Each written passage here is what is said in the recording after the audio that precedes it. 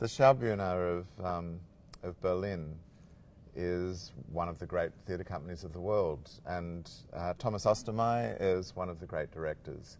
Uh, his production of Nora, uh, of Hamlet, of Cat on a Hot Tin Roof have all been seen and celebrated at different festivals around Australia, twice at the Adelaide Festival.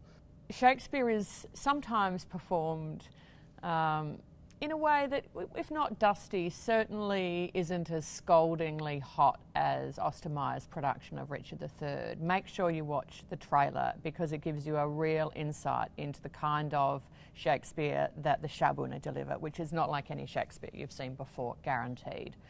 It is uh, genuinely terrifying. It is at times extremely funny.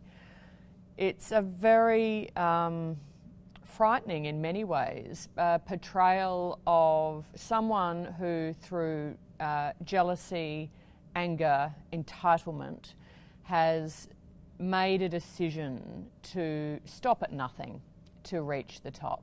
At the heart of this production is this amazing performance of Lars Eidinger. Yep. Uh, Lars is this fleshy, charming, infuriating, and, and inscrutable uh, kind of stage manager playing Richard in the in the centre of this production. Um, when he wants to talk to the audience, he he just pull, pulls his microphone down and, and delivers his soliloquies.